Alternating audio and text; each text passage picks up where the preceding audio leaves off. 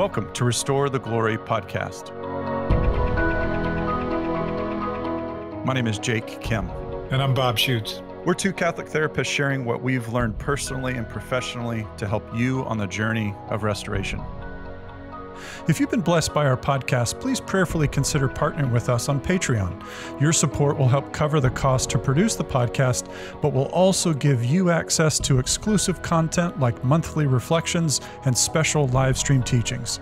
Go to patreon.com slash restore the glory and join the mission of experiencing the restoration of our God-given glory. Hey, Bob. Good to see you again. I think I say that every single time I think oh, I've probably said that like 70 times now. I say the exact same phrase to start off every single episode. So, hey, Bob, how are you today? I'll say a little bit different. yeah, I, I, I think it's because we don't see each other much in between. So it's kind of, it is good to see you again. It is good to see you. Yeah, we are still in our series on same sex attraction, and I'm delighted to introduce our guest today. I've been knowing Hilde, Hilde Prunt, for maybe, I don't know, I lost track, five, six years. Mm. Hilde, I, I, don't know when we started, but uh, I've come to to know and love her as she's moved down to Tallahassee in the last few years oh, wow. and gotten to know her well. And I'll let her tell her story. But the thing that I was just telling you, Jake, off camera was that thing I just so admire about Hilde is she just is passionate for the truth. And hmm. any place of her life that doesn't conform with the truth, she is just relentless in wow. prayer in allowing God to move her heart in conformity with the truth. And I think everybody will hear that in this story because she also has a pretty strong temperament, pretty strong will. That's awesome. So her will does not move easily. awesome. And and let me just be clear, I have not been working as a therapist with Hilde. I've just been just kind of walking over time in a kind of an accompanying friendship relationship. And again, all that'll become clear as as, as she shares awesome. her story. So, Hilde, you want to just start with introducing yourself and how we came to know each other, and then we'll go from there. Okay. How I met Bob. It's actually part of a bigger context, but it was hmm. pretty cool. But there are like two parts of my conversion that I got real desperate and uh, mm. really prayed, really prayed. And one was when I had my initial conversion, but mm. the second one, and again, there's a bigger part of all this, but I was really struggling for a long time in my heart. Like there were things going on in my heart, and I knew nothing about healing, nothing about healing ministry. Mm. So I was like struggling, and I just knelt down and prayed one day, God, I, I don't know what's going on in my heart. Like send me something, send me, send me something, send me someone who can help me uh, mm. understand this or put words to this or something. Mm. And that was just a simple prayer. And then a couple days, I was living in Steubenville at the time. Oh, cool. I went into the chapel there, which is my routine, and there was a book. It was somebody had left a book. One of it was during the priest conference, and it was "Be Healed." And so, never heard of Bob, never understanding this. But the, you know, there's a backstory to that too, because growing up, there's just kind of a cynicism towards healing and healing ministry. And mm. I, I, know I remember switching through channels and there'd be a be healed, you know, there, there, there'd be these televangelists, be healed, you know, and I'd always joke around like, this is so silly. Like, this is like, so when I saw that book, I was very drawn to it, but I put it down and I'm like, this cannot be possible. So I prayed my rosary, which is what I do. And there was a deeper draw after that. And I just said to God, you know, I'd been struggling a long time. Hmm. If I meant to read this book, because obviously someone left it there. I opened it up and there was a priest that said, God bless you. He just left it there for whoever would come. And I happened to be that person. Hmm. And so I prayed to God and I said, if this is meant to be, and this is going to help me because I had struggled a long time with this. So I just opened it randomly and it was chapter six, I believe, and it was about wounds and it just spoke directly. I mean, I was like, I read that book in a couple days, like literally twice almost. And then there's a deep inspiration to, you know, call call the author, which is Bob. And I was a little nervous about it, but it was so strong. Mm-hmm. And that will he was talking about, you know, it can be used two different ways, right? I just remember feeling so strongly I needed to contact this person because I kind of met him through this book. It, it's like mm-hmm. there's such a deep love and sincerity and like all that stuff I thought about, you know, healing ministry, and I didn't understand or know. It just kind of went out the window because this authenticity of this author, you know. So I called the number. I looked up John Paul II Healing Center. I called this number, didn't know what I was doing, which I've done this a number of times in my life, and God blesses that, or He closes the door, you know. But I felt so strongly, and there's a female voice on the other phone, and I ended up leaving a message. And there's more to it than that, but finally I get this phone call back and there's a female voice. I had no idea who it was. Hmm. And so I expressed my excitement about what happened. And I just need to talk to, you know, this author. And, and she's like, that's not possible. He doesn't do this work anymore. And it's, so at hmm. the end of the day, I just said to God, you know, this is from you. I said this little prayer in my heart. And I said, this is from you. You got to do something. So hmm. I just said, okay, this is what this book did for me. I read this book and this is what the words touched my heart so deeply. And I just know I'm supposed to talk. So there's something that happened in that 30 second period of time where I said that. And the person on the other phone said, you know, she said, wow, those words you just used is exactly what my dad said when he prayed over this book and he read this book. So I, she said, but I still can't let you. I, I, so, so I said, look, this just ask him to pray about it. Okay. So she said she would. And then within a couple of hours, Bob called and I, I thought it was, she said, well, I'll call you back. And uh, it was Bob calling. And wow. I was up taking a walk and it started raining. And I remember he called and I had to take shelter under this little, you know, housing project. And it was so weird because that St. Paul quote about your new creation, the old has passed away and the new. So I had to take shelter under this roof of this housing up on campus. Mm-hmm. And that's how I met him. And it, it's so beautiful. That's crazy. And then uh, said, I'll pray. And, and, and then the Holy Spirit just led to this, him walking this journey. And Bob, what was that like for you? What was it like on your side? Because I, I mean, you, you probably get a lot of invitations to talk. Yeah, at, at first it was uh, a resistance in me. Any, you know, just in that place of I've got to have clear boundaries and I'm not a therapist anymore and I can't uh, do that. And occasionally you know i'll have conversations with people and and god always works in that but it's it was like this wrestling you know this wrestling of okay god i'm i'm feeling like kristen was so it was my daughter kristen who at the oh. time oh. was our person who was the office she's manager no pushover, and so that's like that no she's not a pushover yeah. right so so she, she's a good uh, guardian if you will of of my boundaries because she knows my whole life how and yours too jake you know this just merciful heart is always wanting to help mm-hmm. everybody and you know just how do you keep boundaries in that and it becomes an area of weakness so you know it was like she was wanting to protect my time and energy to do the things that god's calling me to do in this season and yet she really had a conviction and so she said that and i trusted her conviction and then when i talked to hilde i heard her conviction i trusted her mm-hmm. conviction and so it's just been a joy getting to know Hilde, but it was a challenge in the beginning. And again, we can both look back and say, well, the enemy was even trying to block that from the very beginning because of what God has been doing uh, through our friendship. Hilde, can I ask an awkward but vulnerable question? And you're allowed to say no. sure. you're on a, a series about same sex attraction and people who experience that. Can you draw us into that part of your story? And what was that something that you brought up with Bob? Like, this is the first time you and I are meeting. So this it's kind of fun because I'm just like the audience. I'm hearing every and I'm trying to what would they want to know? So like help us understand like what happened in your story that Bob would think this is a great person to have on the podcast for this series?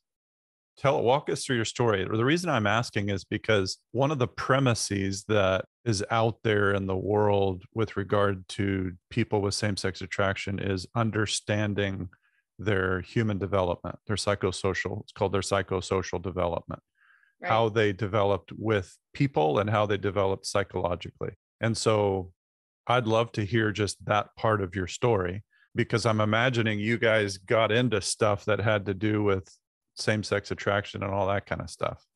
Yeah, well, the initial conversation didn't quite go that way, but oh. um, it it was, uh, you know, it took a long time. I I would there was a lot of trust issues for me hmm. with with people and just my life and the woundedness, you know. Mm-hmm. So I think it took probably a year because Bob and I wouldn't talk regularly. I think I think initially the first year was maybe every six weeks, every couple months or something. And um, he was praying and I was praying. And at first I thought, you know, in the first year, like maybe I was wrong, you know, maybe, mm. but it was so profound. Was so when I reached out to him, but God was just let me build trust with him. Wow. And when that time came where I could actually walk through stuff with him, it, it took a little while. And I think as that trust built, that's when God started to act. Wow. So not that he wasn't acting in the building of the trust, but I mean, I think I even challenged that trust. He could probably tell you that in different ways because it's mm. all I didn't, you know, subconsciously just maybe testing that trust, you know, yeah. and and the Lord would show me that later, like, you know, he he was just always so patient and treated me the same all the time and um, just accepted me where I was at at the time. But how this all started, I can say is that you know try to succinctly go through how this all happened because there's a lot of time there before I reached out to him. You know, I I grew up in a very strong Orthodox Catholic family. Okay. My mom actually at one point before she married wanted to be a nun. It didn't work out. So our house was a little convent at times. You know, we had everything was structured. it really was. I mean, she told us we, we she had my dad get a house across the street from a Catholic church and school. So we walked. She wanted us to be close and oh, wow. it was a really beautiful thing because uh, you know the church was in the center of our community and all our friends really lived around that. Wow. The, the playground it was a large play, playground school large church. That's how we lived our life you know we went to school and she'd say when the angelus bells ring at six that's dinner. We pray the rosary every night. Wow. And as i grew up you know and my mom uh, it was eight of us in a short period of time and so uh. God bless her. She did the best she could and just like handling all of us kids. But I know when I was young, there are just a lot of things that I heard and internalized. I was the last of eight, and everybody's kind of, you know, uh, there's a real troubled pregnancy at the end. And so uh, there's emergency C-section my mom had to have. What every everybody else was, you know, there's a question of my life or my mom's life. And I know my mom tells a story. She told this story. She told the doctor, you know, he's like, you have seven kids. You know, this baby I know you don't want to lose this baby, but it was that serious, I guess, at one point, wow. is what I was told. But you know, she told us, she told the doctor, no, this baby's going to be fine. I'm going to be fine. And I'm going to trust her to the Blessed Mother. So we were both fine. But growing up, it was like a lot of teasing, a lot of things. And I really internalized that. You know, it's things like, you hmm. almost killed mom. And and I know oh, they were teasing my brothers, sisters. It's usually my brothers, but they would say stuff like that. Like, because of you, mom almost died. Uh, there were eight kids. And so my brothers would say, you know, you kind of ruined the family. You were supposed to be a boy because, you know, it would even the family. And they were joking. I could see now that when I was a kid, I just kind of internalized that. I guess I just kind of lived out that role. I mean, it's not something when you're a little kid I really thought about. It. So now, now I can look back. Um, so as I grew up, I hung out with one of my brothers the most. I really was excelled in sports. I mean, it was just natural to me. I liked it. Uh, none of my other sisters, and I, I'd grow and see them talk about boys and date boys and get into high school and all that. But it was not something I was attracted to. You know, I just really attracted eh, when I hung out with the guys or the boys at school, play sports with them. And they'd be like my friends, you know. Hmm. And I had girlfriends too, but I'd notice as I got older, there'd be girls I was attracted to, you know, just in a mm-hmm. way I didn't understand, not as a girlfriend, but just something deeper.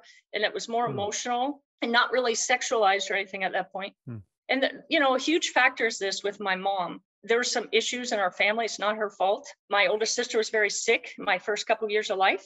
My grandmother ended up watching me. My old, uh, my older siblings, which they didn't do the greatest job. They were teasing me a lot.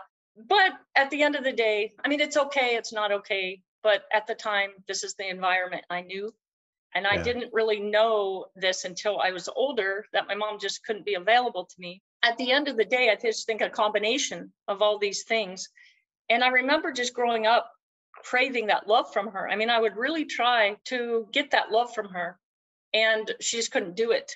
You know, and how she eh, eh, you know related god to us it wasn't really personal to me it was more like this is what we do you know we pray the rosary and i'd be like why or you know we'd go to church obviously faithfully as a family jesus is on the altar where like it was never really explained it was a lot of rules and regulations and things and so i was always a willful little kid my my older mm. brothers sisters will say that it just got to the point where i got to high school and her and I just started clashing. Hmm. And that's what kind of, you know, it, it kind of my sports was like my outlet.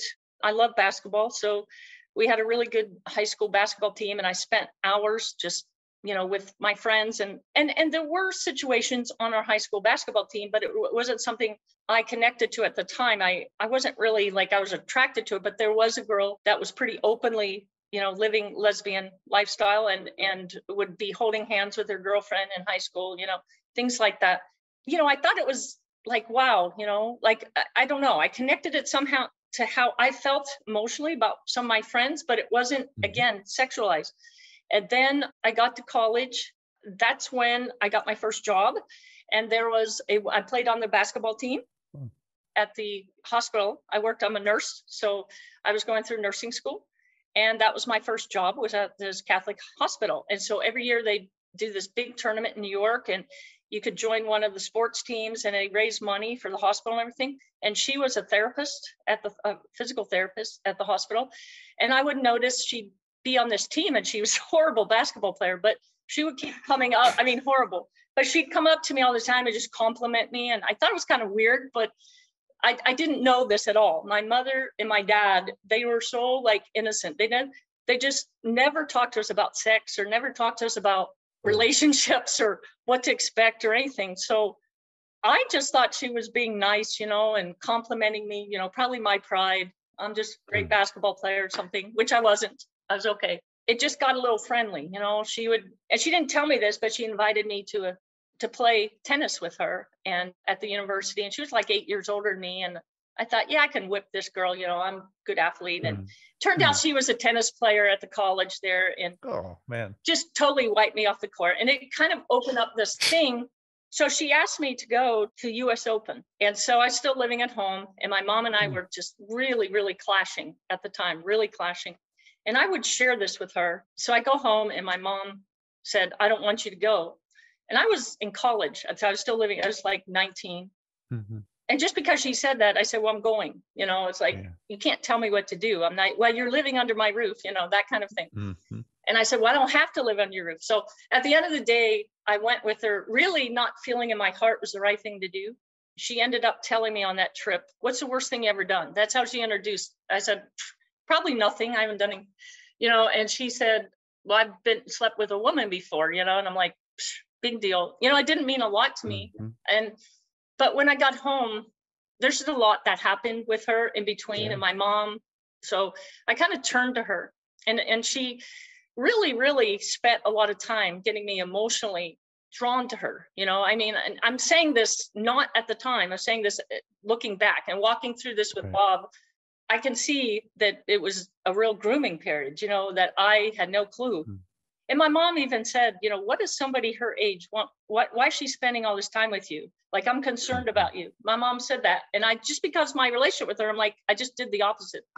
Mm. One day she took me to her place and just, I want to show you my place. And she's asked me if she could kiss me, you know, and I was very emotionally at this point mm-hmm. attached mm-hmm. to her or drawn to her. I mean, I, I really depended on her in a lot of ways because she filled in a space that my mom could not do. I felt loved by her actually, yeah. and it was innocent. You know, I mean, on my part, it wasn't innocent what I did, but but she didn't just kiss me. I mean, she went full blown into all this stuff that I had no clue, and and really shocking stuff. Hmm. I I felt like I couldn't say anything because I thought if this is what this is all about, you know, like I had no clue. I thought just this is what two women do. So hmm. until I walked through this with Bob, and there's a lot of shame there. It, it, was actually walking through it with Bob was a real sexual abuse thing, you know, going on there. Hmm. Um, that I didn't even realize. I just thought that's what people did. So right. from there, I mean, there's a lot more to it, but from there, after she got what she wanted, which was really to my innocence was gone. And I knew when I came home that night, something was really wrong about what happened. And. I actually was still living at my parents' home and then I had to leave. I mean, I knew I couldn't stay in their home and I ended up moving on campus, you know. But in the meantime, I had changed. I knew something changed in me and I didn't know what mm. it was. And I had a faith in God. I mean, I, I you know, I started asking myself, am I a lesbian? Am I, is this like, because it mm-hmm. didn't feel right what she did. Mm-hmm. but at the at the same time i couldn't talk to anybody about it at the time and that's just so uh, my older sister all my sisters started to get married and my next sister up rita she was engaged to a guy and they just introduced me to a friend his roommate and i started hanging out with him just like a buddy and and and mm-hmm. i started getting all this attention from my family right? I started feeling like i was fitting in which i didn't before and my mom was really happy and he was catholic you know and she wanted me to marry a catholic guy. So i started like dating him and was three months away from a marriage you know mm.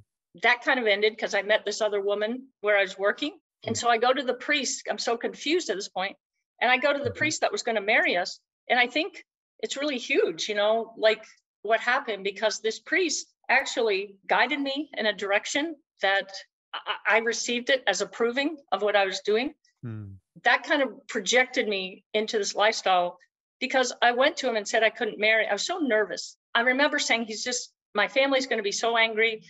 But I met this other woman at work and I just felt so drawn to her. I felt like I, we got really, really close. And she was married actually and had a child and hmm. uh, didn't plan it. Didn't, we just became really good friends. And she said, Hilde, don't live on campus, just live at our house you know, you don't have to pay any rent. You can just finish school. And so I did, and her and I worked every weekend together at, at, at, the hospital because I went to school during the week and she watched her child and obviously had to raise her child. So she worked weekends. But at the end of the day, it was just the most difficult thing for me because I had to tell Greg I couldn't marry him. And again, all this truth, you know, I always said, you know, I tell the truth, I'm okay. So I would tell people the truth, but I didn't really know what that truth was. It was just you know, so I told Greg everything. You know, he was very upset with me, obviously. Hmm. When I talked to the priest, it was just really jarring because I told him everything. I thought, you know, I got to tell you the truth. Mm-hmm. Like, this is who I think I am. I'm, I think I fell in love with this married woman and I was supposed to get married this guy and I don't know who I am and I, I, I don't mm-hmm. understand where to go from here. And basically, he just told me a story and that story ended up really projecting me into lifestyle more. And it was more like a conscience thing. He told me a story and said, basically follow your conscience. And my conscience wasn't formed, you know, my conscience was like mm. what I felt. Mm. So I was so happy. You know, there's some weird freedom that came with that when he said that. And he knew that I told him everything that this was a married woman. He didn't even say that.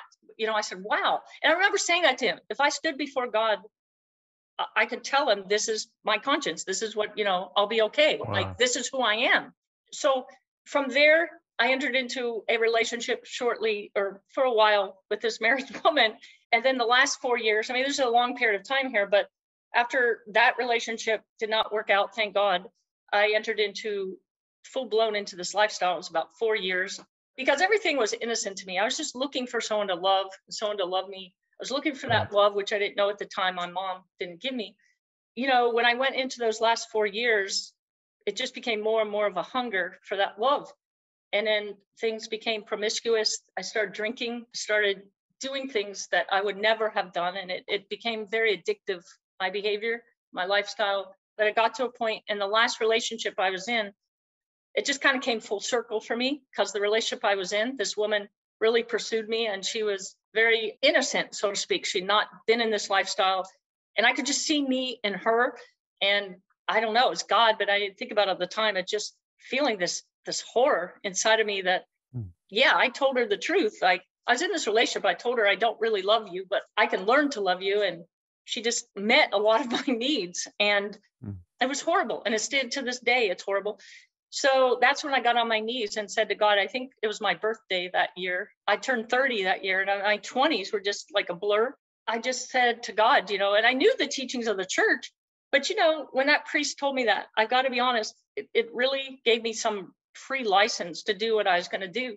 Mm-hmm. But I remember just praying to God, like, like I grew up and I know you're real, but you have to, like, I asked him two things. I didn't ask him to be straight, you know. I just said, mm-hmm can you please just tell me the truth? Like, I love truth. This is the truth I know, but show me the truth. Just show me who I am. Just show me where to go from here, you know? Mm. It was really powerful. I can describe it now, but at the time I didn't know, you know, my faith really. And I'd lost all sense of that radar, the spiritual mm. upbringing that I had. because my conscience, everything was really darkened at that point. But I remember saying, if you're if you're real, you, you've got to show me, and you've got to show me the truth. So two things I asked him: you got to show me you're real and, and the truth. They're just words came to my heart, and it was go to Medjugorje, go to Medjugorje, which is weird because my mom had been telling us this in high school. Oh, did you hear? She had a deep devotion to Our Lady, hmm. and uh, she would tell us about what was going on in Medjugorje about Our Lady appearing to these children. And of course, I blew it off at the time, like that's a nice story. Hmm. Being that will determined as I am, uh, there's a civil war going on at the time, and I had really, you know, I was going to get there, come hell or high water. I knew. Hmm. So I did all this stuff on my own. You know, like I didn't even think about Catholic tour groups or anything. I was going through these secular tour groups. So I had it arranged to hop on this cargo plane, right? And you know, it's delivering food supplies over there. it, it, the lady said, well, you know, you're going into dangerous territory and we can't, we don't have a hotel. I said, that's fine. I'll find, I, I've always taken care of myself. I'll find something when I get there. And it was just this determination, this power, this empowerment to go. Yeah. Yeah. And so at the end of the day, our lady intervened, God intervened, heaven intervened. And I was at my parents' home one night and rare, hardly ever went there, but I went. And on the news that night, these people had just got back from Medjugorje. It was on the news. And I'm looking at this like I'm crazy, like I'm going on a cargo plane. These people just got back. Right. And then the rest is history. I mean, I called the local Catholic tour group and they they were perfect week. Uh, in September, I went, just experienced both answers to that prayer. Powerful, powerful, powerful um, experience in Medjugorje. And when I got home in 10 days, so it was like God showed me is real. So there, I think I prayed the rosary for the first time in a hmm. long time. And literally my my beat, the the little strings, the silver part of the rosary turned gold mm. the, at the end of the rosary. Not kidding you. And I didn't go there for that. People would say, "Oh, all these miracles are happening." I didn't go there for that. I just went to find the truth and know God was real, and He just showed me. And then when I got home, like all these scales just fell from my. I just knew. I just knew the way that I was living I didn't know where to go from there, you know, but I knew he told me the truth in my heart of who I was, you know, and mm. I was his daughter. And of course, you have to grow into that, but it was just a mm. powerful, powerful sense of walking away from that, the lifestyle I was mm. living and knowing that that was not who I was. That's my initial conversion.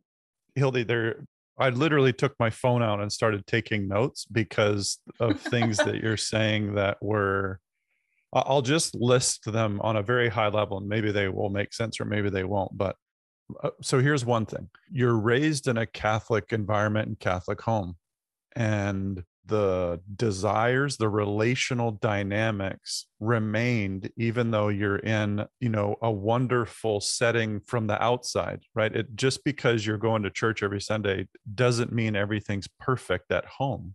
I don't mean that to slight you. That's just the reality across the board. And so uh, your story, just on that level, is articulating how you can have the most devout family in the world and still experience woundedness. Like you're not immune just because you go to church on Sunday. That might sound overly simplified, but I think a lot of people have a, a notion that's like, oh, well, I, I go to church, I'm fine. That relational dynamics still come up. So to press a little bit deeper I hate that I'm about to say what I'm going to say, but your direction of your life was significantly influenced by a priest going in, in, uh, in a direction that wasn't ideal. And you said something that I think is just fascinating that I'm like, oh my gosh, that could be that we could really break that down, which is you equated conscience to emotion. So what I feel is what is right and that was subtly linked for you in a way that it made sense and then you said i felt a ton of freedom. I felt a ton of relief. And what's so interesting is that at the same time you're feeling all this freedom and relief this truth thing in you is not at peace but this freedom emotion is and yet you're still at war within yourself like you're not integrated within yourself like i'm not at peace. I'm not settled. And it's like and when you're saying all of that stuff, you keep describing, I don't know who I am. I don't know who I am. I don't know who I am. Hilde, I, have worked with a lot of people, and you're describing very core dynamics to the heart or to the soul that are universal emotion, identity, deep calling, like a unique calling for truth and that you know a primary way that you encounter god via truth and then all the relationships the power of relationships that so listeners i hope that you know as you're hearing hilde's story maybe you know taking it at face value it's powerful there's a lot of really powerful layers here that are universal i think so hilde sorry if i'm if that doesn't make much sense but i'm like oh my gosh you're saying things that i think are very powerful across the board uh, sorry, here's another one. The church for you was a primary way of knowing love. And amen. Thanks be to God. And so when a priest says something, you inherently trust him because your whole upbringing is in this mode where this is the safe space. Like uh, your parents and everything, this is the place where everything's okay. So if a priest says something, it must be good. And I, I I'm permitted to walk down the road the layer of the your mom and that tension simultaneously occurring the ache there the desire um, there everybody has a longing for their primary relationships to be at peace primarily mother and father and then siblings. And then you're encountering a person who's quote unquote loving you but later learning manipulating you. And how that desire would be met. Like it just i'm just like the timing is I want to say awful because like that's how you're hungry for something that's good and somebody comes along and exploits it probably for their own broken heart you know? I don't know if any of that made sense but i'm like holy smokes there's just like layer upon layer upon layer of things that are just rich that apply to so many people.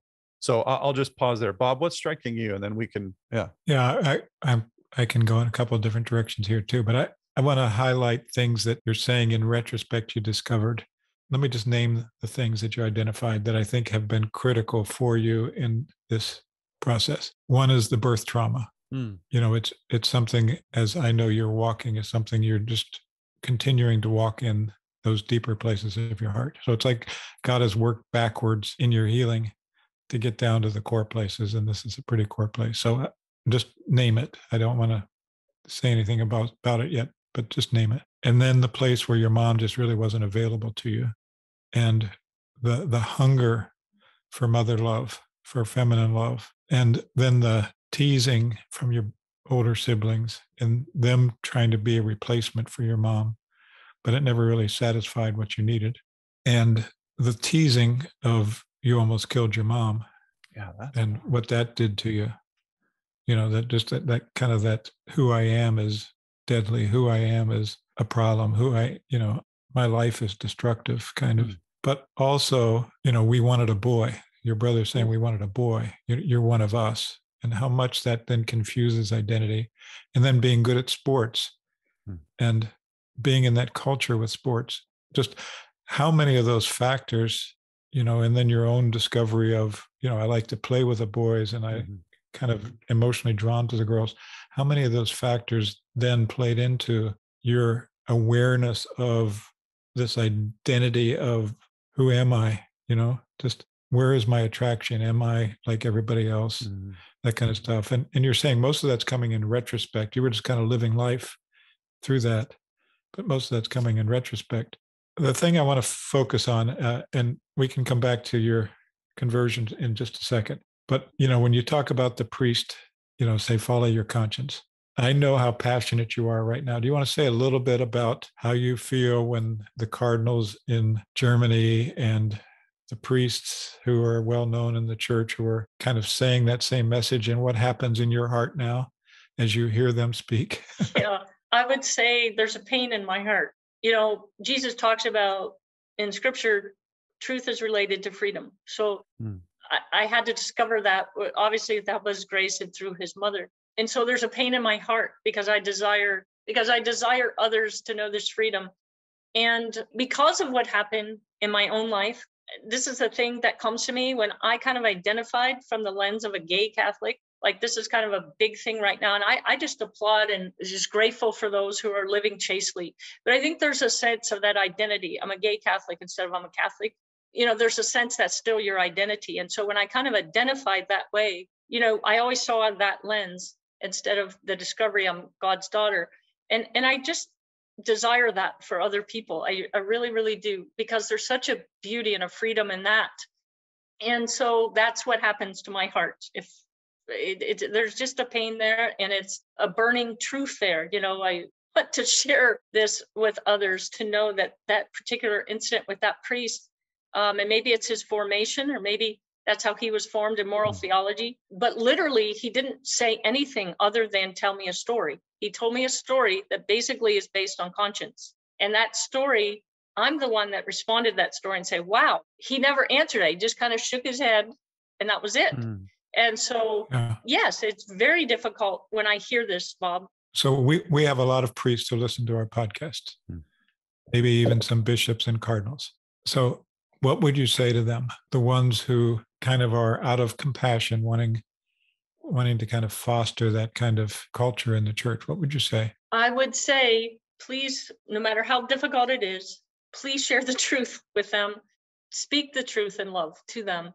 Because I'll just speak for myself, but I'm sure a lot of my friends, I had a lot of friends, and I think that a lot of people, at whatever stage they are in their formation, you know, their conscience is not truly formed. It's not you know john mm-hmm. paul talks about our conscience as being formed it's not like a you know to an objective reality outside of ourselves and mm-hmm. a lot of people don't know that so they're equating that conscience with their inclinations or how they feel and so i would ask them to just please tell them the truth and let god let the holy spirit work in that and i know it's difficult to do because i know for me when i identified as a gay catholic it would be very offensive to me you know but I just wonder what would have happened to me. That's what I would have, would say to them. I wonder what would have happened or the direction maybe, I don't know, if he would have sat down and explained to me, just explained to me the church's teaching in a deeper way and in a loving, truthful way. And not only that, but the person I was drawn to was actually married and he never said anything about that either.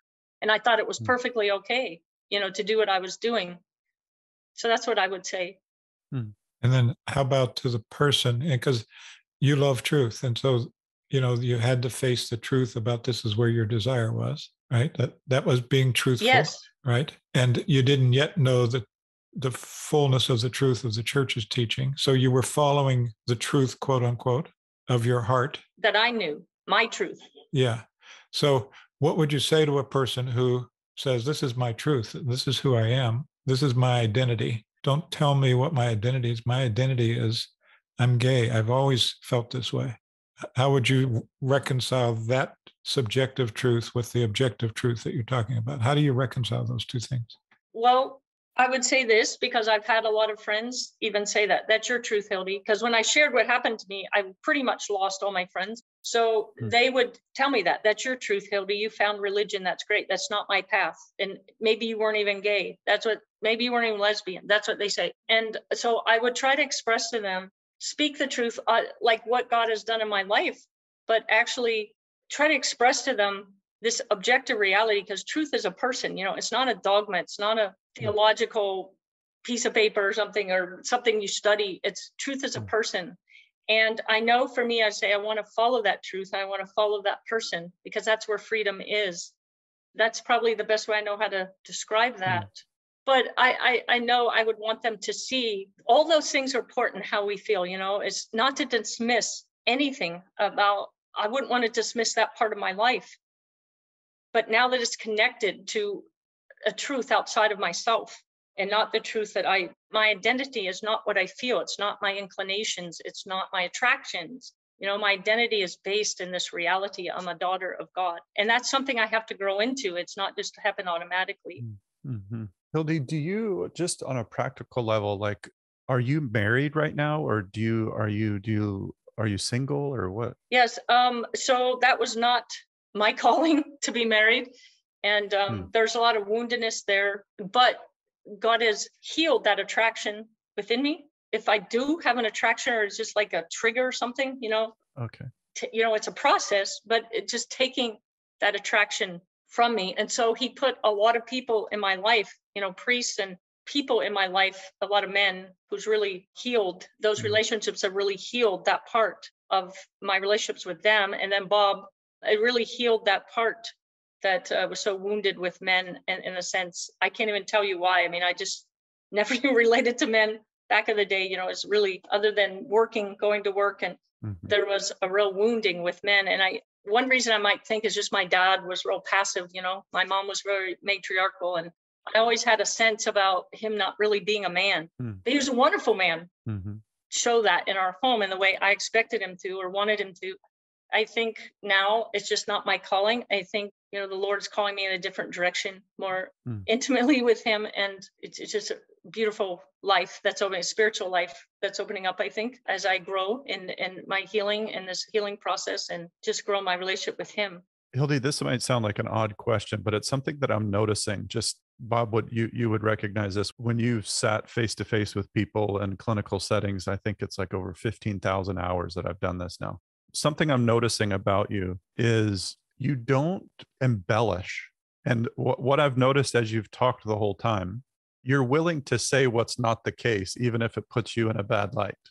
And if we, if anybody wanted to do this, go back and re-listen to the episode and just listen. Does Hilde ever embellish anything? Does she ever take something and make it louder when it's not actually louder, or make it quieter when it's not actually quieter? And as I've been listening to the whole time, you'll just simply say what it is. And I, I, think what i'm hearing you there is you probably don't even notice that. That's what i'm i'm guessing. You probably don't even notice no. that that's what you're doing.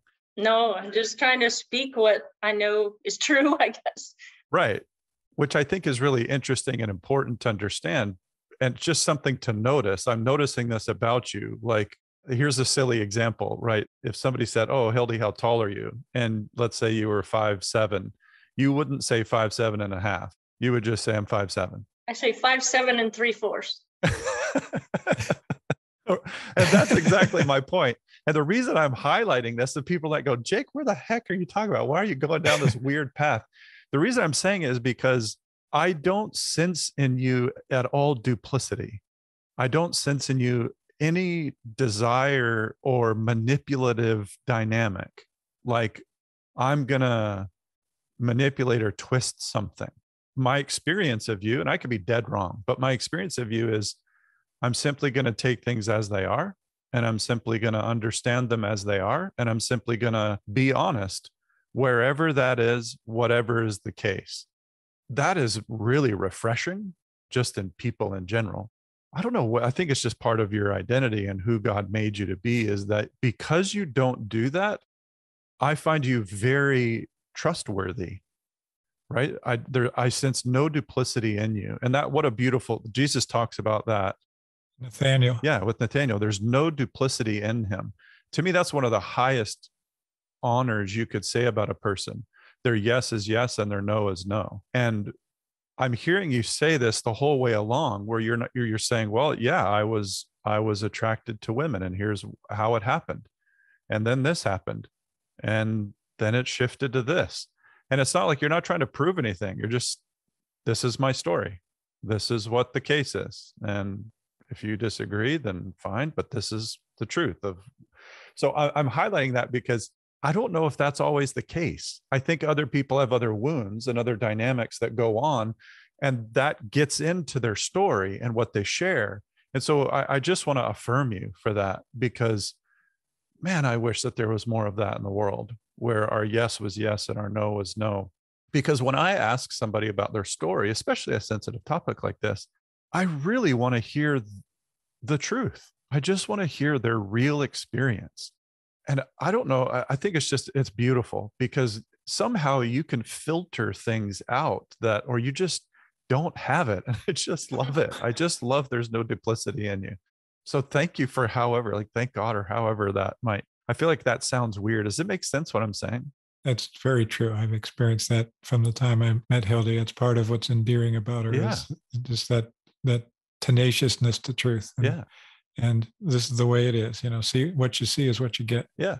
So Hilde, if I can transition a little bit, you know, first of all, talk a little bit about the theological formation, just fairly briefly about how important that was before you began the healing sure. of the deeper places of your heart. And so that's kind of maybe a good way because that's how we started and this is kind of how it's landing or going but mm. after that conversion medjugorje had no idea really what to do it's just depending on god to lead me i kind of felt like mary magdalene and the chosen you know like 10 days before i went to medjugorje i was one way and 10 days later i knew i was different and so mm. huge, huge. I just felt very led by that truth, kind of like the scripture in Solomon. He asked for wisdom, I asked for truth. And so there was this burning desire to know God. I mean, it's just burning. I just wanted to know everything I could about him. So I, st- I went back to RCA for a couple of years. Class just, I, you know, God put me, just put, you know, a Dominican priest in my path. And, you know, he was teaching the catechism there. And it was just really, really beautiful. And then there was a young adults group at the parish, and we started doing these deep Bible studies mm. with Jeff Cavins and Scott Hahn. It was just at that right timing. So I went and studied there and studied theology, not for a degree. And God was just doing amazing things. There's just, and I see how my conversion is unfolding into the healing. So we go into the healing process that God was really form, forming my mind, mm. just soaking in all this stuff and just basking in it really the intellectual you know prayer that's all i knew you know didn't know i thought i was healed you know 10 days later i'm mm. healed i'm getting all this formation. I was on fire for the lord i was sharing what i knew mm. as god put people in my path and accordingly. And then it just hit this period very dark period in my life. It was so abrupt. Just my world was gone. And you know just everything in my world my friends my career everything just changed at a drop of a dime. And the god mm. that i knew was not the god that was happening you know and and it was really again retrospectively walking through this with bob and he pointed out but i didn't know what was going on at the time it's just like all my wounds were being exposed things were being mm. exposed and there was a it was just a very dark period of my time and in that period of time and i just went back to a lot of those behaviors just went mm. back because that's what i knew that's when that period started where this stuff was going on my heart and I didn't know how to express it. And let, I let me let me just stop stop for a second. When you say you went back to your behaviors, did you go back into the lesbian oh, lifestyle? thank you for clarifying. No, I didn't yeah. go completely back into it, but I would go uh, visit bars. You know, I would go back to the bars and hmm. entered into a deeper like pornography, hmm. just a really dark three or four hmm. years hmm. because I knew God one way and and i didn't understand i mean there's no warning to this. It just happened in the sense in like a couple week period of time and and i really tried to pray through it and not understanding what wounds were being triggered what what things were happening. You know there were decisions that were made. I mean i tried to pray through it. I, I had people praying for me you know the priest that i knew but it just kept getting darker and darker for me and so there's just a period where where I, I, did not know inside of my heart what was going on. And that's when i reached this i mean i was losing my friends and you know a mentor i had in steubenville and and just hmm. that was just taken out of my life just circumstances and and really felt abandoned alone isolated in my sin again. And and and and it was just horrifying. It was horrifying to me that this god that i love and i knew i love god in, in truth and and i was I didn't know what it was. and that's when I prayed, God, please send me something, send me someone. And he answered both those prayers too. And I read Bob's book, and then he's been walking through this with me. And it's just powerful, powerful, powerful as these layers are coming off and to walk through stuff that happened years ago that I didn't even understand I needed to do, mm. building a trust with him. And then being able to do that and experience Christ through him and this working with him and you know c- conferences that I went to of his reading uh, you know other resources Leanne Payne just discovering and then facing this I would spend hours with Jesus I still do I love spending hours with Jesus but I would take this before the Lord in the blessed sacrament and just having him work the sacraments which is so important and now there's just dealing with this stuff that was inside of me. Hmm. I mean, I've got a long way to go, but just going to these places in my heart that were so wounded and damaged and, and experiencing freedom in a way that you know i never knew i needed or but i didn't realize that that period of time was to expose these wounds. So there's a you know my conversion went from you know the mind to god wanting to deal with the heart. And hmm. now i i believe that's the sense i have as i'm being more and more you know freed is this god wants to integrate that. There's still a lot of disintegration inside of me just I just entered a new season the last couple of months and deep, deep places in my heart. They're really frightening. You know, there's a couple times I'm just like, Lord, I don't want you to love me this much. You know, He just shows so much of His love. It's just painful. I mean, it's painful. And and mm. I didn't know this existed, you know. And so as I'm walking through this, and He uses people, uses things that are dear to me, you know, to to as kind of the scalpel, you know, I'm a nurse, I'm a surgical nurse. So hmm. Th- this whole picture, there's no anesthesia, right? I mean, mm-hmm. wow. you know, you can't sleep through it. You've got to walk through it. Wow. I'm so profoundly uh, hopeful, you know, of where he's leading me because now my desires are changing and I want to be a saint. So when you said, "Are you married?" I kind of am. I'm, you know, I've got some. Yeah, yeah. So that's what my desires are. That's my goal. That's my hope. And uh, I know it's a road less traveled. You know, Jesus did mm. say, you know, the road to perdition is wide and to eternal life is narrow. And you know, I just love him, and he's the truth, the way, and the life, and I want to follow that truth.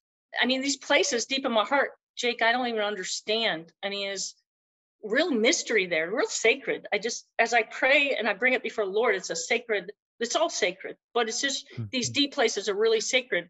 And I just, Jesus, I want to trust you. I want to go there with you. But I have to admit, I mean, I, I'm, I'm totally frightened, you know, these deep places. So I'm, you know, I just keep bring it to him every day and trusting that he's going to get me where I need to go. If I, if I could just kind of talk about it in terms of layers, you know, what, what I experienced is kind of the first layer was that feeling not understood, which was a kind of abandonment, and then working down into the shame. Yeah. Right. And and working through the shame and how powerful that shame was. Bob, can you just link these to real events so that listeners can go like Yeah, if you're comfortable doing any of that, Hilde, I'll, I'll let you do that. But kind of highlighting the layers and in freedom you can share whatever you want to share. And then the rejection, that deep sense of rejection that was there. And then a, this sense of deep fear and terror of abandonment of of death you know it just just your healing process has kind of walked down through those places and hopelessness has also been one of the things if you could just share anything about any of those places just to give people tangible experience of the journey that you've been on i think people sometimes think about the healing process as you know just this simple changing your mind hmm. you know uh, and just knowing the truth or of even you know kind of the criticism of conversion therapy is you know kind of being manipulated into converting your will but the journey you've been on is is such a deep journey of the heart and i and i hmm.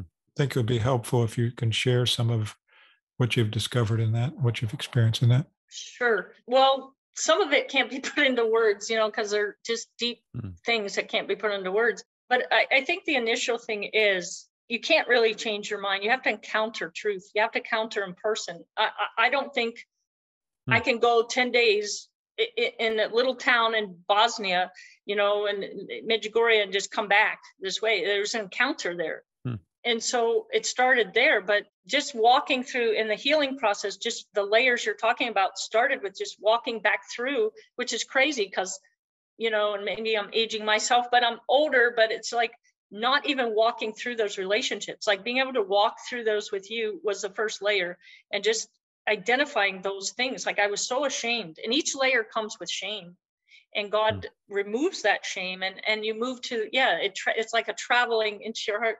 That was the initial thing. I remember walking through those relationships with you and, and the shame and that i i never told anybody what i did with that first relationship you know what i got into afterwards you know those last four years.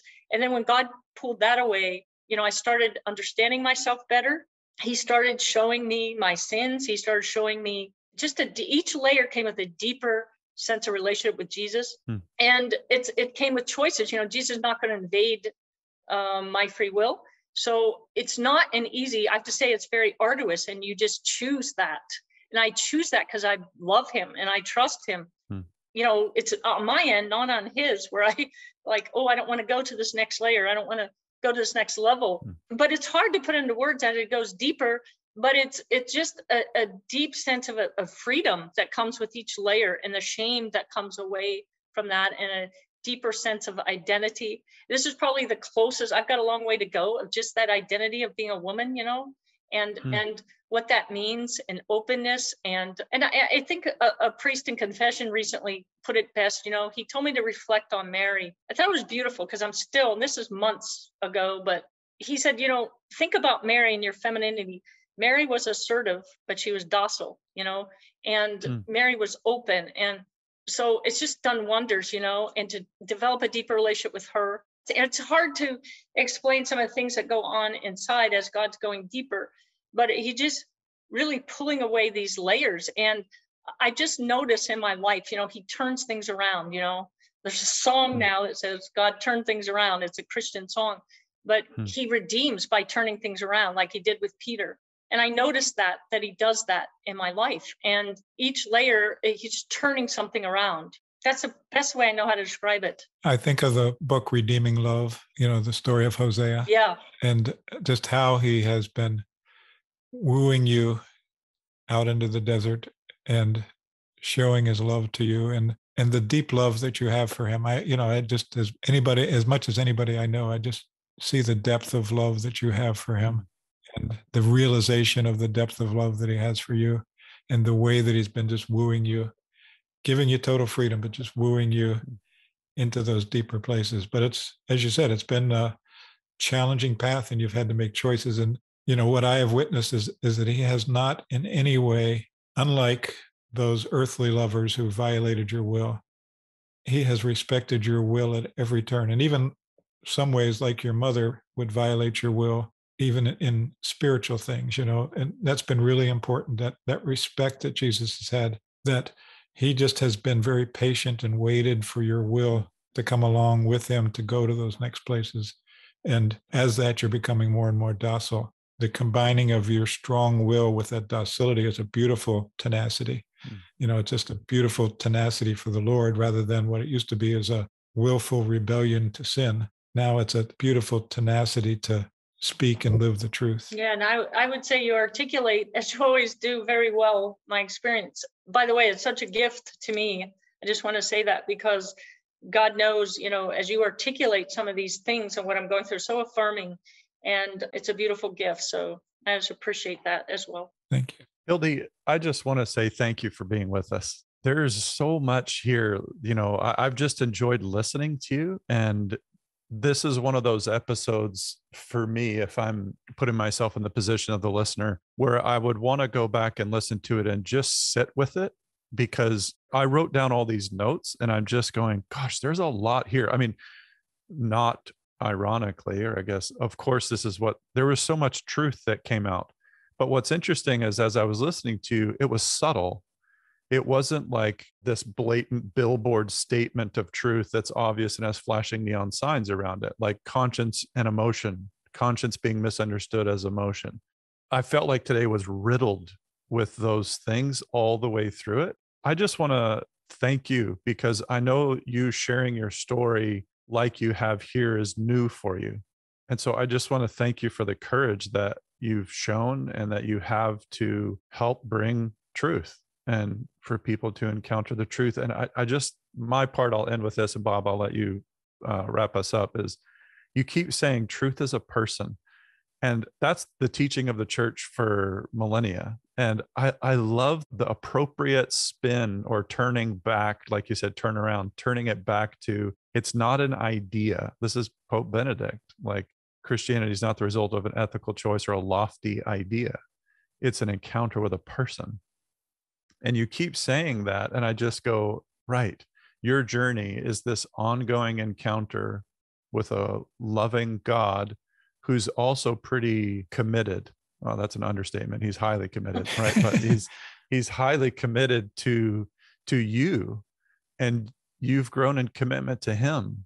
And it's just wow a simple, beautiful journey of walking with the Lord and what occurs there. So thank you for your honesty. Thank you for your willingness to share. I, it's just been a pleasure to chat with you. Bob, any final thoughts? Yeah, just a, a gratitude, Hilde. I, I, I know what it's taken for you to get to this point, and uh, mm. I just admire that holy tenacity mm. that you've lived every part of it, and, and the desire for truth, and and to live in that relationship with Jesus, and I get to know Him more through you hmm. uh, in our friendship. Just to clear to everybody, I'm not your therapist. I've never been your therapist. I don't practice as a therapist. We've just been friends along this journey. Mm-hmm. I, I, guess uh, two things before we, for you to have uh, two last words. One is, this is the first time you're telling your story publicly.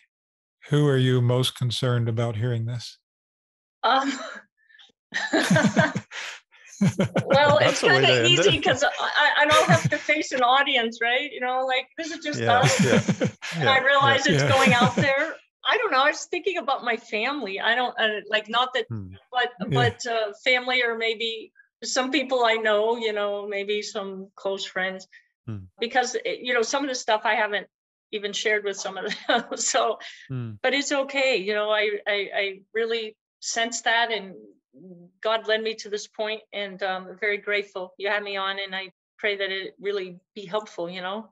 Yeah. The other side of that question is, who do you most want to hear this? Who do you desire to hear this most? That's easy because, like, I understand the struggle. I really, really do with same sex attraction, and just to see what God's done in my life to kind of turn that around. And He's really healing those attractions. He's drawing me in in deeper level my identity as a woman and i just desire that for them i desire those who struggle with this to know the truth you know to be led in that direction of truth and i have to say you know one thing that's been on my heart as you both were speaking is just that i don't understand there's times you know my attractions are one way and i know the church teaches another way and i things are mm. triggered and all this stuff but it's just to encourage people to know that God is faithful and He knows what's best for us, even if we don't. And sometimes we feel a certain way, but if we just remain faithful to His truth, He's going to break through and on His timing and His way. And there's going to be freedom, there's going to be joy, and uh, it's just a lifelong process. So that's the hmm. hope that I carry on, and I hope to give that to others. Hmm. Hilde, that's awesome. Amen. Listeners, I, I just want to ask that you would pray for Hilde. So just you know, as you are finishing up the episode, just say a very simple prayer. Just pray the name of Jesus over her or Hail Mary or something over her because it takes a lot of courage to step out and and start sharing deep parts of your heart. And Hilde, I, have been blessed, and I'm sure many, many, many other people will be blessed. So thanks again for joining us, and really grateful for you, your yes, all your yeses along the way that have led here. So it's awesome. And listeners, we're praying for you, and we look forward to talking to you again soon.